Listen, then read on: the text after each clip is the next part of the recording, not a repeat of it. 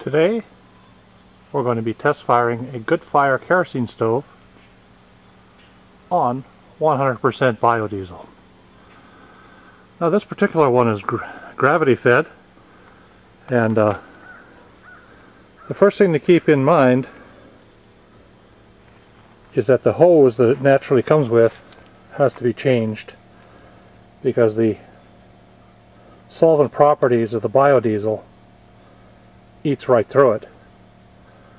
So what we're going to do first is fill the preheat cup.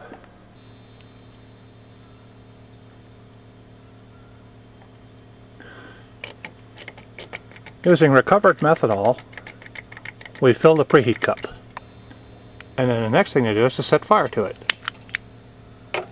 And there you can barely see the flame because the methanol burning so cleanly.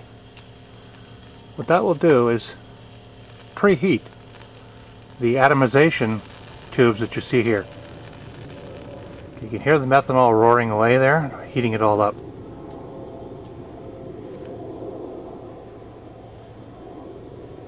So just wait a minute for that to get hot and then we'll turn on the stove.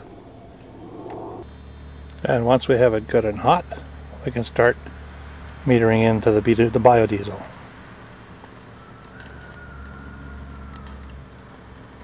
There we go.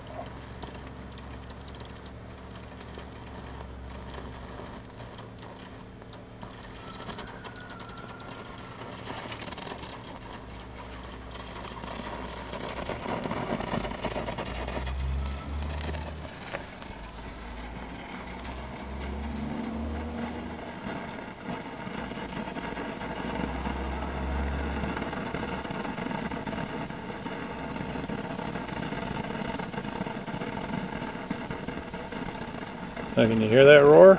There's a slight wind going on right now. But the biodiesel being burnt right now is two years old. It's been sitting in its fuel tank for the whole time. And as you can see, it's working quite well just as is. These little stoves can really put out a lot of heat. And they are controllable. By using the fuel access knob.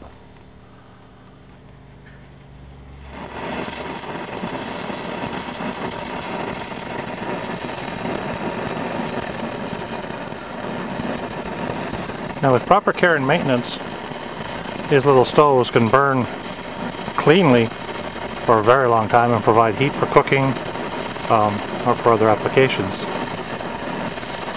So there you have it our test firing of the GoodFire kerosene stove.